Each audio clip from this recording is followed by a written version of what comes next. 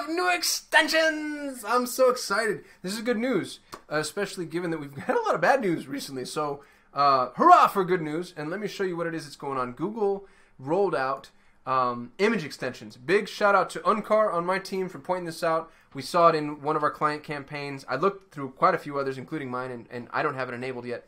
Um, so you may not have this just yet, but it's coming. It's still in beta.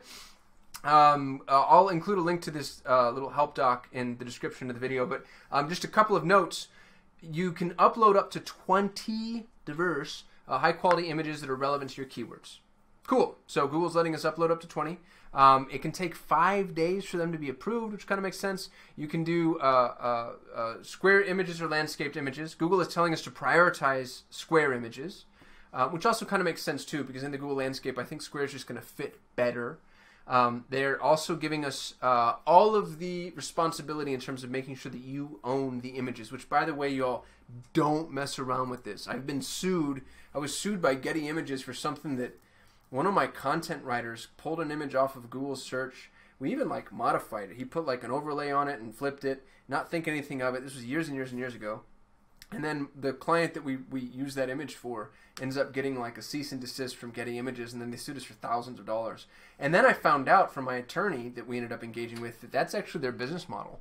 They like make images readily accessible, and they'll even sell images to uh, different template farms. Um, and they're just a bunch of patent trolls, and so they're waiting for you to go and poach their images so they can go sue you. And uh, we paid. It sucked. Um, so just be really careful. Um, and, you know, I mean, more to the point, too, I guess maybe if I'm being more responsible in what I'm saying here, sometimes it's not anybody doing anything nefarious. Like Getty Images is, you know, a crock of thieves, but um, they're just stock photo libraries of, you know, photographers and, and media creators that deserve to be paid for their work. And um, back in the day, I used to kind of just pull those images off and I didn't think anything of it. But as I've met more and more of those people and I understand more about how their business model works, um, you know, let's support them and let's not steal people's photography. So, quick soapbox moment. But moving along, uh, what do we have?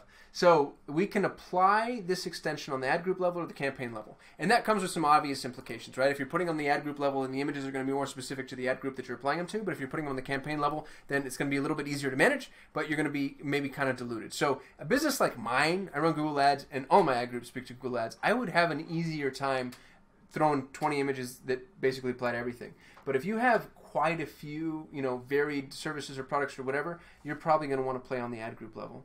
Um,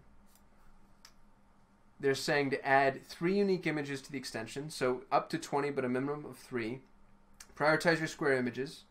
And uh, if somebody clicks on an image, you're being charged just like they clicked on your ad, which kind of makes sense. Um, and the way that they're showing up is pretty cool. Let's see if I can get you an example of that. Um, oh, wait, actually, I think they have a link to it here. So, a couple of notes uh, ex- image extension format requirements. Um, I'll link to this just so you have it too. It's really important to know. Um, they're going to not play nice at all with massive amounts of text overlay, just FYI. Um, I can tell you that right out of the gate. So just be really careful with putting too much text on it. Um, but you can kind of see where Google's like, hey, this is you know out of focus, not allowed. Uh, in focus is allowed. Um, you know the the kind of messed up images they're not they don't want to see. Um, they don't like this heavy heavy zoom. Uh, so uh, images that are cropped in a way that makes the subject matter difficult to distinguish. Um, images containing lingerie, bathing suits. You know, even like this would be perfectly fine for a product listing ad, but Google doesn't like it. So these things are allowed. So just some things to note. Um, texture graphic overlay. They don't like text. Um, now that's okay, but this isn't.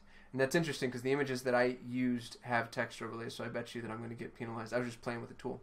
Um, they also have dynamic image extensions, which are kind of cool um, and also very dangerous because what Google's going to do is automatically pull images from your landing page, from the landing page of the ad, into your ads. Um, and as with all things dynamic, Google's going to do this automatically without asking you. Uh, which I think is a little bit dangerous. So when you're in your extensions, uh, remember you can go uh, campaign level or, or, ad group level, but in the extensions, um, go up here to the little plus bubble, and you may see image extension, which is in beta. And if you see image extension, it's actually like super basic, to be honest with you. You get to choose is this going to the campaign or the ad group, and then you can say I'm going to add new, which means I'm going to upload images.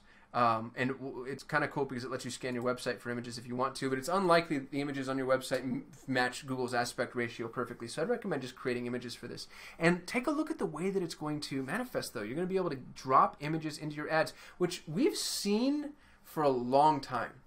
We've seen Google playing with this, toying with this for more than a year. Um, I've just never seen it actually in one of my client accounts.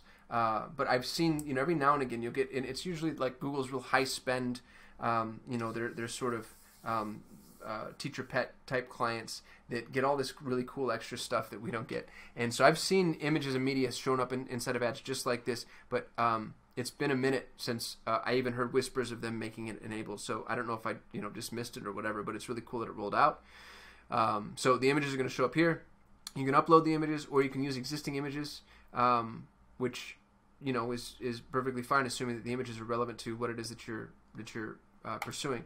Once you've added them, like Google said, it's going to take five minutes for um, the images to be approved or five minutes. I meant five days, and it'll show up like this. So you'll see the images in the image extension um, where they're added, uh, and then if they're on a campaign or ad group level, um, and then you know just like everything else, we're able to see impressions, cost, clicks, etc. Um, y'all, this is super cool. This is super cool. This is one of the things that I think is going to give a significant advantage to paid ads over organic listings. Um, Google just just for the very first time gave paid listings uh, a leg up. In um, you know uh, organic listings even have something akin to you know not exactly site link extensions but they'll be expansive in certain ways. And you know you'll see uh, queryable information or even searchable information depending on how uh, structured your site is. Um, you're not going to see anything like this inside of the organic, uh, or at least, excuse me, you will and you have, but it's not as often. I think that um, using image extensions, this is going to be huge, especially for mobile. You're going to be able to occupy more real estate as with other extensions, um, and it's just going to be so compelling. Um, so I'm really excited about this. I think this is going to make some some really big impacts. It's also going to apply a little bit more in the way of um, the need for creative, for strong um, creative inside of Google search, which you know our, our, us data nerds haven't been used to having to, to produce outside of a little bit of remarketing ads, which Google does for us. So uh, this is fun too because it, it speaks to the need for us to revisit the entire full funnel experience, uh, emphasis on you know creative and, and, ads since Google's taking away some of our, our uh, technical functionality. Um, but this is uh, and it, this is great news for advertisers and for agencies. Good opportunity to set yourself apart. Good opportunity to provide additional value for clients. Uh, I'm really excited about this. I think this should see um, really significant impacts, especially depending on your industry. Um, y'all, the, the, the, value proposition here is immense because, I mean, if you're in that four pack, um, it's a dogfight. You know, if you're in that four pack, it's a dogfight. And if you have an image extension fire, I can't imagine Google's going to fire image extensions I mean, gosh, it has to be prioritized. I, I, would hope that it's only one advertiser, but even if it's not, it's going to only be one or two. There's no way they're firing image extensions for more than that. You know, the same way they was with uh, SiteLink extensions, um, or at least the expanded version of SiteLink extensions show up for one, um, and then if they show up for others, they tend to be truncated. So um, this is going to be a really unique opportunity to set yourself a, a, a, ahead of competitors, and also, you know, play a really solid split testing game too to see what images are appealing to people. Um, this could be like a really unique opportunity to do some like product level split testing. Um, you know, testing colors and, and, narratives and those types of things. So, really super excited, uh, interested. If anybody else has this enabled in their account, I'm curious as to whether or not you've used it. If you have, in what context, uh, what type of results you've seen, that sort of thing. So, thanks for watching. Uh, excited that I can finally give you good news today. And um, like, comment, subscribe, do all the things you already know. Uh, love y'all. See you tomorrow.